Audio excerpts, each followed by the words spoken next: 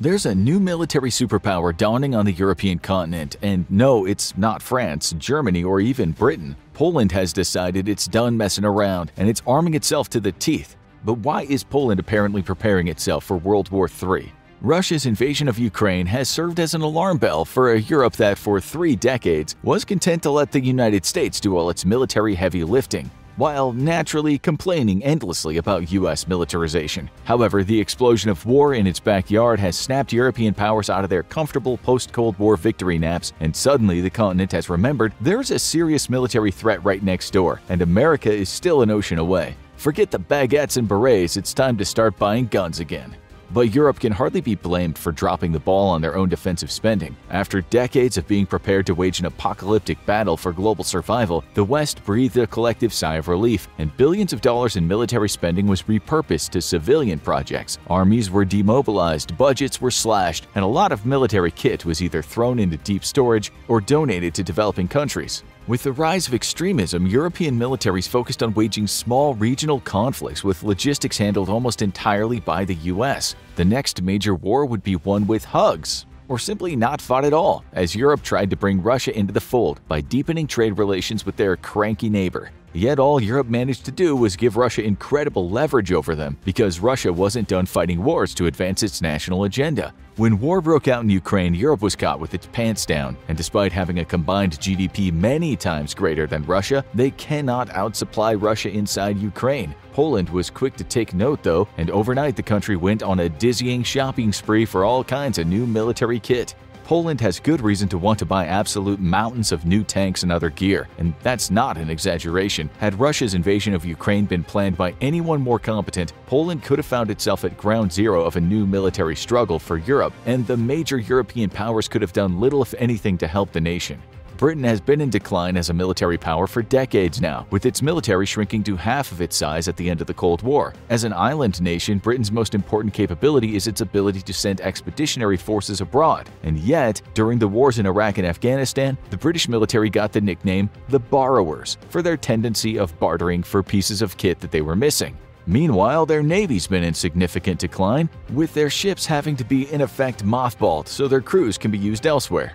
In 2021, Britain's Parliamentary Defence Committee delivered a scathing report outlining significant problems with the Royal Navy, including a critical lack of offensive capability and too few surface ships and submarines. Germany's facing its own significant issues. Maintenance problems from a lack of qualified technicians as well as spare parts has meant that German pilots aren't getting the number of hours in the cockpit they need to remain proficient. The country is also incapable of meeting NATO's rapid response requirements without cannibalizing other units, leaving it in serious risk of being incapable of fighting a protracted conflict. France is about the only European power to maintain a significant military capability. We actually have little to criticize about France, except that its expeditionary capabilities are slightly lacking, but experience gained in counterterrorism operations in Africa is helping to rectify the problem.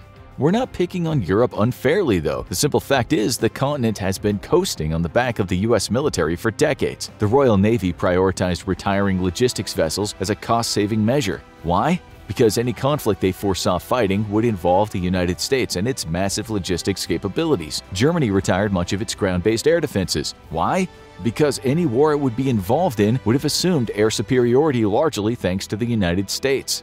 Since the Cold War ended, Europe evolved into a power that would complement US warfighting abilities rather than be a battlefield force on its own. Given the fact that Europe's favorite historical pastime was mercilessly slaughtering each other for thousands of years, this might not have been such a bad thing. Poland has seen which way the wind's blowing, and that it cannot rely on its European allies for national defense. The US military is the most powerful in the world, but it's also half a planet away, and if history is anything to go by, and it absolutely is if you're Poland, then by the time the US Army arrives in Europe in force, Poland would already be a battleground. Perhaps no nation in the world is as cursed as Poland, which has historically served as a convenient middle ground for major European armies to batter each other to pieces. That's because the nation has basically no defensive geographical features, allowing invaders to just casually stroll right on in at their leisure. Poland is done being Europe's punching bag and is aiming to field the most capable military inside of Europe. Polish Prime Minister Mateusz Morawiecki spoke to the nation on the eve of its Independence Day, stating the Polish army must be so powerful that it does not have to fight due to its strength alone. Judging by the amounts of weapon orders it's been putting in, this is far more fact than wishful thinking. Poland is raising its defensive spending from 2.4% of their GDP to a whopping 5%. This is more than even the United States. It also puts other NATO partners to shame who have largely struggled to meet the bare minimum requirement set by the alliance of 2%. This is a long-term commitment too, as the country is determined to double the size of its military by 2035 from 150,000 to 300,000. Those troops are gonna need combat gear though, and Poland is buying it in spades. In exchange for sending 240 Soviet-made tanks to Ukraine, the US cut Poland a deal for 250 Abrams, a significant upgrade to its land forces, but the nation was paying very close attention to the fighting in Ukraine and has made a direct bid to Lockheed Martin to buy around 500 HIMARS units. This was an incredible order and would have made Poland as big an operator of HIMARS as the United States.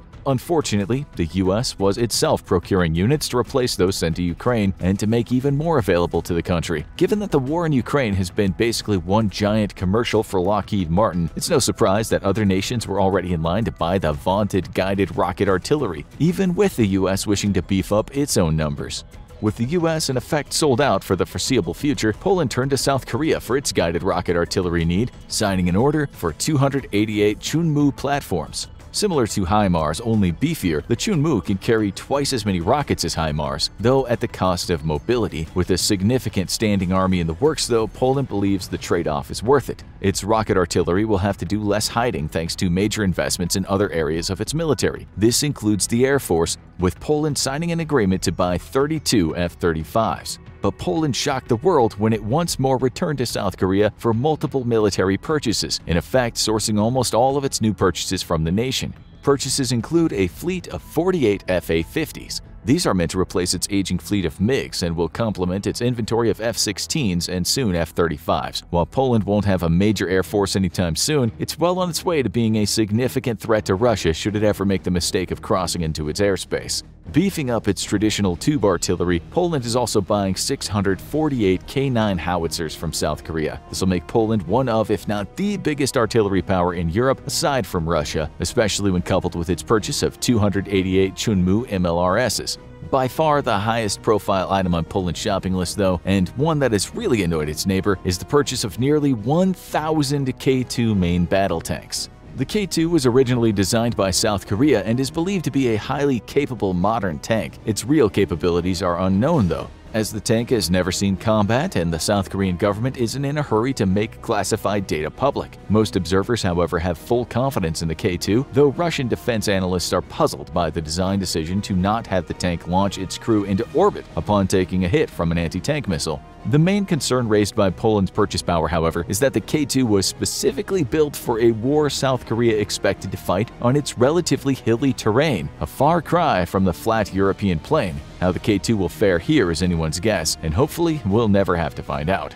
Poland-South Korea spending spree has made the two countries absolutely chummy, and that's something that's really annoyed the rest of Europe. Home to many great tank manufacturers, Europe is frankly puzzled at Poland's decision to purchase tanks from a nation half a world away, especially when its logistics will depend on easily disrupted supply routes that literally span the planet. But the decision makes a lot of sense if South Korea plans to break into the global arms market and if the nation builds maintenance facilities inside of Poland itself, this will secure Poland's logistics needs and open the door to the European arms market for South Korea, a deal that benefits both sides. Germany has famously been the United States' most important European ally, but now Germany's become nothing more than a logistics hub for the American military. With the invasion of Ukraine by Russia, Poland has now become America's most important European ally, and the relationship was cemented by U.S. officials commenting on that fact.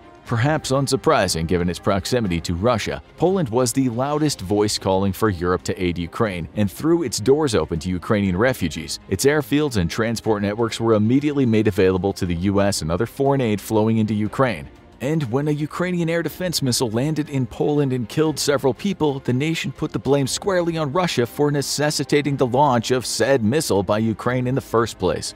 Given Poland's history and tenuous strategic position in Europe, it's no surprise that it's incredibly invested in the outcome of the war in Ukraine. What is surprising, however, is the incredible speed with which the country has moved to bolster its defenses and the willingness to work with the United States to arm Ukraine. Given its position inside of Europe and the military capabilities it'll soon field, it's easy to see why Poland will soon trump the rest of the European powers as America's most important ally in the region. What remains to be seen, however, is if the nation will go through with all of its planned purchases, especially if the war in Ukraine ends sooner than expected and the Polish population grows weary of the incredible price tags of some of these weapons. Now go check out NATO World War III plan or click this other video instead.